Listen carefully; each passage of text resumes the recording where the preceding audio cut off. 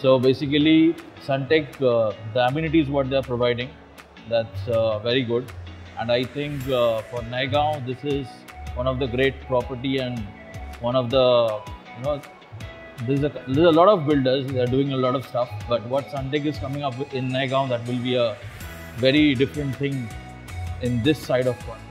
Yeah, your uh, project is good and uh, we liked it. Uh, the connectivity and everything, like whatever infra, so it was, it is good. First of all, this is my dad. Uh, so we just booked in a house in Sunteck. Uh, the main reason behind booking a house is because um, we reside in Santa Cruz. So we've seen how Sunteck has built it over in BKC and all. Like it's a sign of luxury. So since we came to know that um, Sunteck is coming out at Naigaon with a luxury project, we decided to just go and have a walk around. So when we looked at it, we really liked we like the connectivity, we like the the amenities that they are providing with it. So yeah, we just decided about all that and we went ahead with the purchase. Thank you.